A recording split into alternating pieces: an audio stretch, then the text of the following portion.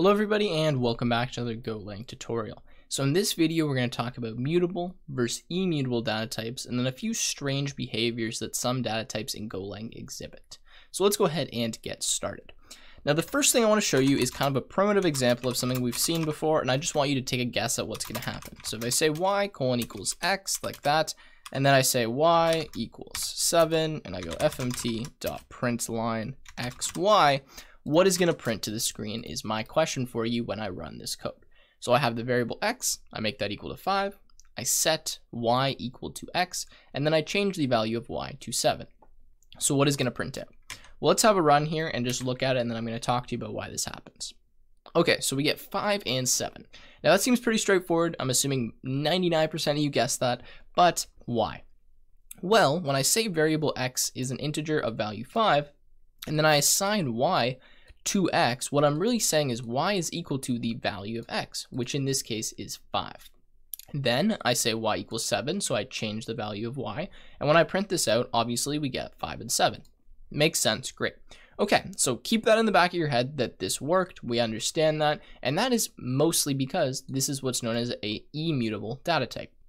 So we have immutable and mutable data types. An immutable data type means not changeable, and a mutable data type means changeable. So when I say y colon equals x, what I'm really saying is y is equal to the value stored in x, which makes it equal to 5. This line of code does not bind x and y together, meaning that any change to y affects x and any change to x affects y. That's not true. But now what I want to show you is a different example using a mutable data type as a slice. So I'm going to say var x, and I'm going to say int, like that, equals int 345. So what I've said now is let's make a new slice of x. Uh, it's slice of ints and it has 345. And then what I'm going to say is y colon equals x. And I'm going to say y0 equals 100. Okay, so now what do you think is going to print out to the screen?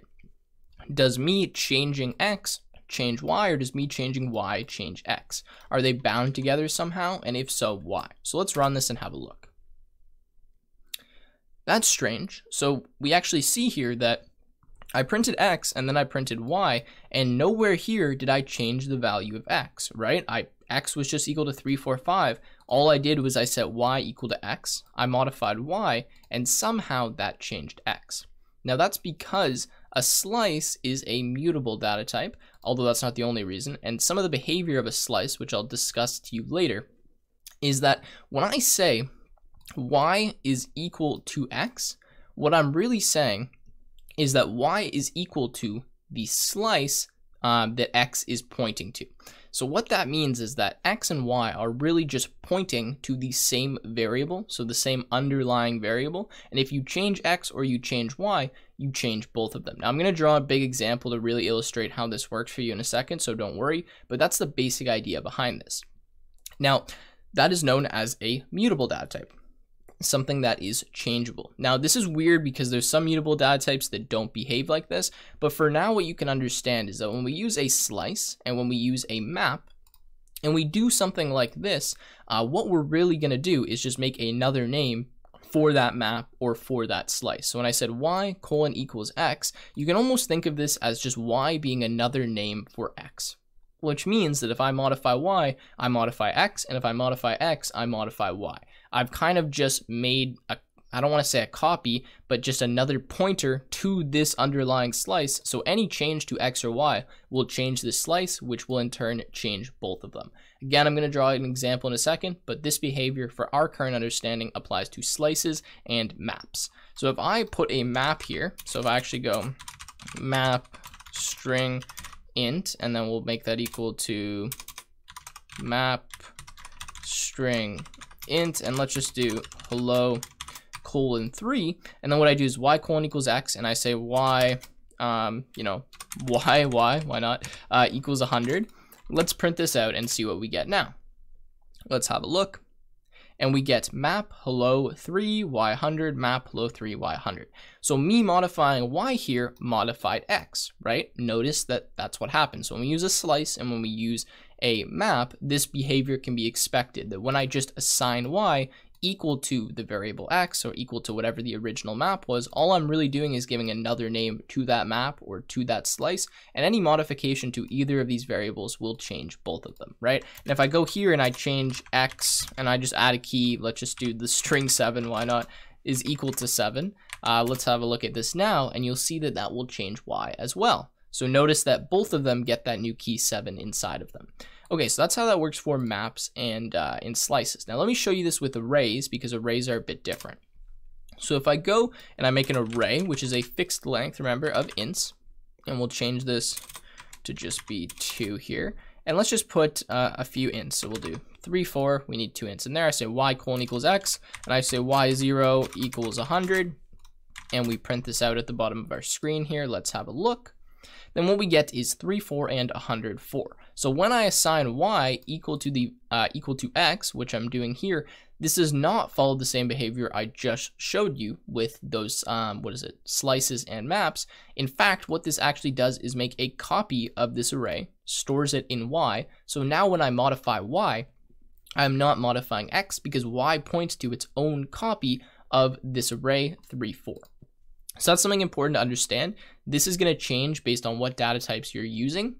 But for now, just understand that the only ones that behave weird, where you you can change both of them from different variables, is uh, the maps and the slices. Now, an array is actually a mutable data type as well. So a slice, a map, and an array are known as mutable data types. And what that really means is that they can change. Now, the reason they can change is because, well, I can do this. I can say y0 equals 100. I am modifying this type without actually creating a whole new thing. I'm just modifying one value inside of it. And same thing with a slice, I can do that. And same thing with a map, I can do that. So that's what mutable stands for. Now, mutable doesn't necessarily dictate the behavior I've just shown you here, uh, but it's something to, important to understand that a mutable data type can change where an immutable data type cannot. I can't just do like if I have, you know, let's say z colon equals 9, I can't just do like z plus 6. That doesn't change z uh, to be equal to 15. I would have to reassign the value of z. So z equals z plus 6 or z plus equals 6 to actually change its value, whereas here I can just modify specific parts. So now let me hop over to my drawing tablet and I'm going to show you why this actually happens. Alright, so I'm on my drawing tablet now and I'm just going to do a little example to show you what actually happens on our computer's lower level and kind of behind the scenes when we write the code that I just illustrated to you. And this is hopefully going to explain to you why we get that strange behavior with slices and maps, where we're not just making a copy, but we're actually pointing back to that same original slice or same original map. So let's have a look here. Let's go x colon equals Let's just make a slice of ints. This is just for example purposes.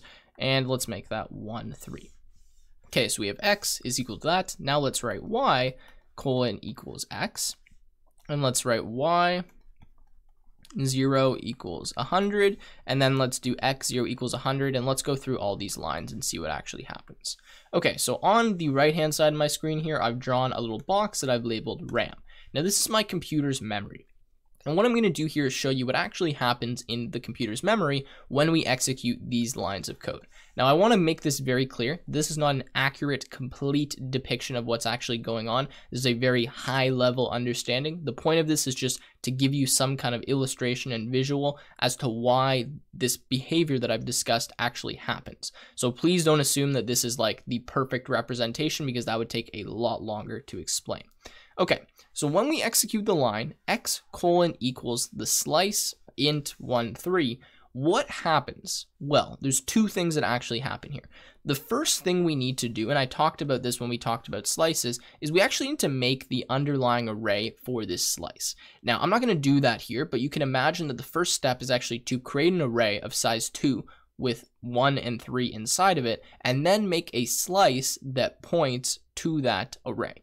Now I'm not going to make the array, I'm just going to imagine it already exists, but the first box that we're going to draw in a RAM, so the first thing that actually gets entered inside of there, is some box gets labeled with some numeric digit. I'm just going to label this um, like 3. We'll just say this box's ID is 3 because each box in our computer's memory or RAM um, has what's known as like a label or it has some ID. It has some numeric value that represents it ideally. So we have that. So we'll say, okay, box three. And what this is going to be equal to is exactly this slice. So it'll be equal to a slice. So we'll just put this in here, int, and then one comma three. Okay. So we make a box, it's labeled some random thing, and then it is equal to the actual value that we're storing in the variable. Then the next thing we do is we make a box. I'm going to label this box X because that's the variable name that I've had here. And then inside this box, I actually put the address or the label of the box that stores the slice. So notice here that what I've done is I made two boxes. I didn't just make one box that said X and was equal to the slice. I made some box which was labeled something, doesn't really matter what it was. Then I made another box that was labeled this variable name and it stored the value 3 inside of it. Now 3 corresponds to where the slice is that X is holding. So this is kind of our link, right? So X goes to 3, 3 goes to 3, and that gives us our slice. So whenever we're accessing or dealing with X, we first have to get the value out of X, and then we have to grab wherever that box is to get the slice that we're actually going to deal with. So I hope that makes sense, but this is the basics in our computer's memory. Great, so that's this line of code here complete. So now let's do this one, y colon equals x. So when we do y colon equals x, what happens is we copy the contents of x into y. So I make a box called y, and then inside of here, I put whatever was inside x, which was 3. There we go. So now we have this same link, right? Because I've just copied whatever x was storing. So since x was just storing the link or the address or the box that has the slice in it, now y is storing that too. So when I want to access this slice, well, what I do is I go and I look at the value inside of y, and then I look at that box, and then I get the slice. So a very similar thing happening when I use y. So now let's look at ha what happens when I do y0 equals 100. Well, like I just discussed, if I want to modify a value or I want to change anything or access it, I first need to look in the box y and see where that slice is being stored. So this slice is being stored in box 3. So let's go to box 3, which is right here, and let's make this 100. So let's change that first value to be 100. Great. Now what happens to x? Well, x is still pointing to this box. So that means that I have modified x. Because x is pointing to this box, I modified this box, so in turn, I modified x. And that's the basics behind how this works. Instead of storing a value like in the slice as two separate things inside of both x and y that have two different values and can change, it's just being stored in one location. So whenever I modify that location anything that's pointing to that location will in turn be modified. So that is why x and y get modified. Now what happens when I do x0 equals 100? Well, sorry, this should have been x1. Let's imagine that's x1. Well, then I would come here to this box and I would modify this to 100. So in turn, I would modify y because y is pointing to that box. So that is kind of how that works. We have that pointer and that, that's the idea behind why that actually operates. Now this works the same for maps. So you can imagine that if I just change this to a map definition, uh, we get the exact same result happening in my computer's RAM if we're doing something like this. Now let me show you an example with a immutable type, so something like an int and show you what happens there. So I'm going to redraw RAM. We'll just make a little short one. This will be a much quicker example. And on the side of my screen here, I'm just going to say x colon equals 7, y colon equals x, and then y equals 9. So when I do this, what happens in my computer's RAM, and I'm going to go faster here, is I actually make a box called x, and it just stores the value 7. So rather than having this kind of pointer system that we had before, we just store the value directly with x, right? So x is 7. Then what I do is I say y colon equals x. Okay, great. So I say y, and I copy the contents of x into y. So now I put 7 here. So y is equal to 7.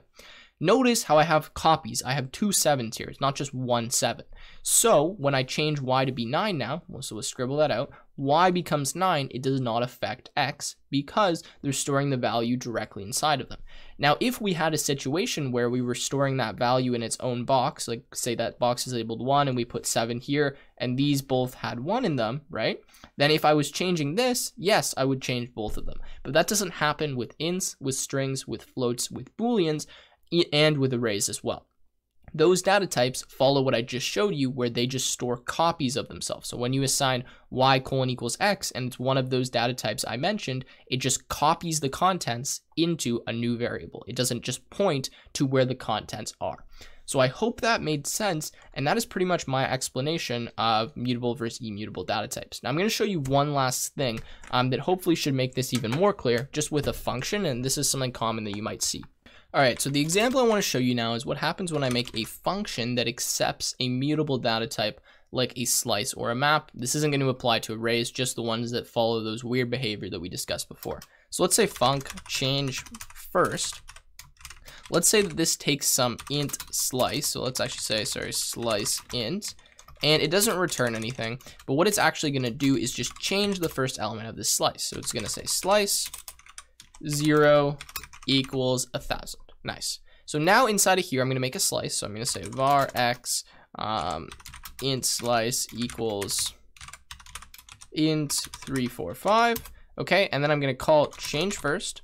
And I'm going to pass x and I'm going to print x before and after. So I'm to say fmt.print line x, and then we'll copy this, and we'll put it here. Now just have a look at what's happening. We have this function change first, takes a slice of integers, and then changes that first value to be a 1,000. Then here, we print x, we call change first, we print x again. Let's look at this and see what happens. Okay, so we get 345 and then a 1045. So me passing x through this function, I was actually able to modify x down here. Now the reason for that is because when I pass x in as the argument or the parameter or whatever you want to call it, what is really happening in this function is it says slice is equal to x, right? It says the slice variable becomes equal to x, whatever, that's the value I passed in, right? And now we say slice 0 equals a 1,000. Well, we're doing the same thing as the example where I showed you that I assigned y equal to x. Since slice is simply equal to x, and x is equal to the pointer to this slice, well, what I'm doing is I'm modifying x and I'm modifying slice because I'm modifying that underlying slice. So when I come back down here, just because this function was in a different place, it doesn't matter, I still modified the value in x. So this is something that you can do. You can modify slices um, and maps and a few other data types that we haven't mentioned yet from functions. So I can make functions like change first or delete last or something like that that will modify the contents of whatever you pass in without actually having to return a value. So I didn't return a new slice, I simply modified the existing slice and that changed it out here and anywhere else that it was being referenced or had a variable assigned to it. So with that being said, I think I'm going to leave the video here. I know this is a confusing topic, so feel free to leave some questions if you have them. I hope you guys enjoyed. If you did, make sure to leave a like, subscribe, and I will see you in the next video.